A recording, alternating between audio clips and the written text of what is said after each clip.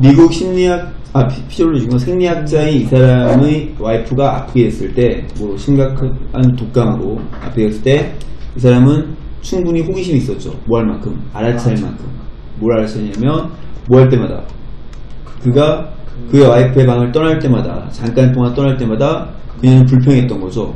뭐 했다고 불평했어? 그가 네, 오랜 시간 동안 떨어져 있어 사라져 있었다고 불평했던 거죠. 그래서 관심에서 과학적인 조사에 관심에서 부탁했죠. 그 와이프에게 60까지 해달라고 부탁했죠. 그죠? 네, 뭐 하면서 각각의 카운트가 네, corresponding. Corresponding 뭐죠? 오, 일치하면서 뭐 일치하면서 그냥 느끼기에 네, 1초라고 느끼는데 일치하면서 해달라고 한 거죠. 뭔지 알겠지 이게? 네. 법적으로 좀 조심하시고요. 뭐 하는 동안에 그가 기록하는 동안에 그녀의 온도를 그죠? 그의 와이프는 꺼리면서 받아들였고 그는 빠르게 알아차렸죠. 더 배웠고 더 배웠고 그죠? 뭐 하는 거 할수록 그녀가 더 뜨거우면 뜨거울수록 그녀가 더 빨리 했다는 거죠.